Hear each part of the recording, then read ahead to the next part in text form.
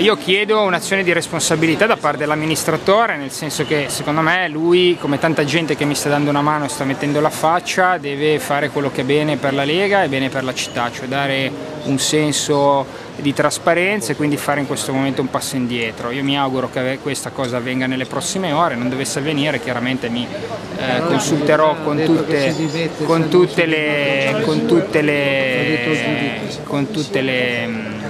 le persone che si occupano di questa campagna elettorale perché è chiaro che io ho chiesto l'impegno a più di 200 persone che sono candidate tra circoscrizione e consiglio comunale